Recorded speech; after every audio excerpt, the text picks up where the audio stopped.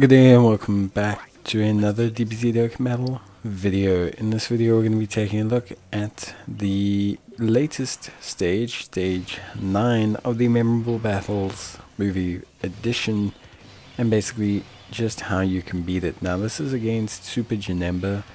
Uh, it's actually a pretty rough stage. Uh, Super Janemba is pretty buff, uh, I'm not gonna lie. And basically he can kind of just come at you, hit you with an incredibly hard uh, super attack, and then just kind of leave you in a very, very rough position. So honestly, yeah, he's really quite tough. Uh, what I will say, you know, for the most part, is that evasion, I find, tends to be the best solution here. Now, how Janemba works as a boss is he's actually quite tough. He has quite high defense. He has like 2 million defense alongside quite a sizable chunk of damage reduction.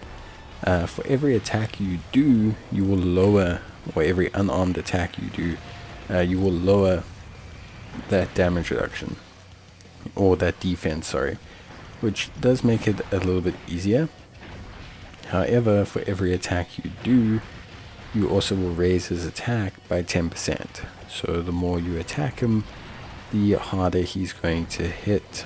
Now there is a way around this uh, kind of. So obviously no matter how hard he hits just avoid it. And then you tend to have a pretty good time. Now, what I will say uh, for me is also there's an additional one turn buff depending on if he's been hit by a strength character. And because we have to have one character each type, it is somewhat unavoidable hitting him with a strength character. But trying to minimize your strength characters, which sounds a bit weird against physical boss, to prevent this from happening every single turn. At least that's what I did, and I found it made it way more manageable. Now, in terms of uh, like the missions, obviously the missions want us to prioritize having one unit of each type.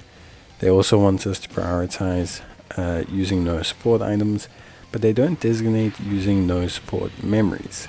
So there is that small loophole that we can use to kind of generate a little bit of a better you know, understanding, a little bit of a better kind of control around, you know, like around the boss. You know, give us a little bit of a boost, whether it's a heal, an attack and defense buff, whatever.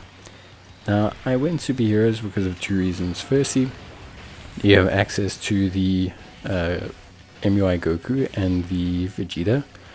Vegeta is one of the few int units outside of like int Broly that can uh, actually deal with Janemba's very, very hard hitting attacks. So that is something that is very helpful and very, very useful. Aside from that as well, uh, obviously it gives us double revives, which is very helpful when you have someone that can launch like a 5 million super attack at you. And then what it also does is enables me to take a friend Beast Gohan. Now, why Beast Gohan is so useful here, firstly, obviously type advantage, although he has guard, so it doesn't really matter.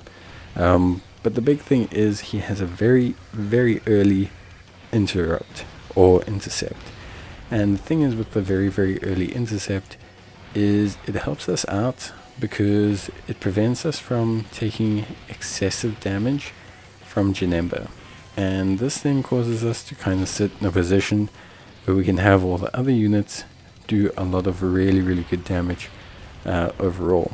So for me, uh, I found that the early intercept was incredibly useful uh, compared to some of the later ones. And it's probably what made uh, running it with Beast Gohan so much easier. Outside of that, everyone else did plenty of great damage. So we had a pretty good time overall. Uh, all in all, it was tough.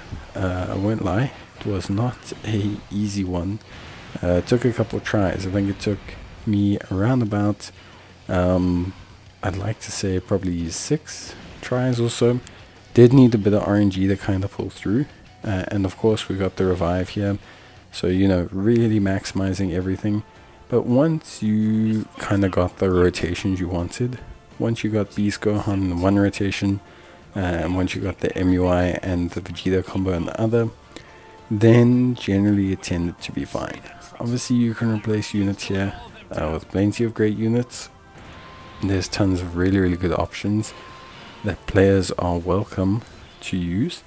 So you don't have to, you know, necessarily use like this exact team. Although, you know, obviously there are benefits um, to using this exact team and that you've seen it run the stage. Uh, we did have the EZA for the uh, Tech Goku and Vegeta Angel, which is obviously great and really, really helpful. So that does help out uh, overall. But yeah, I would say for me, um, this team ran very nicely. Uh, and I was very, very happy with, like, in general, um, just how this team did. Like, I think overall it was a very good run, very nicely done, and we got it done. So, I mean, that's, that's all that matters. But that's it from me. I hope you guys enjoyed the video. If you did, please leave a like. It's always appreciated. And I will see you guys in the next one. So until then, as always, take care, stay safe, and let me know if you need any help with any other challenges. Otherwise, until then, I'll see you guys in the next video. And bye.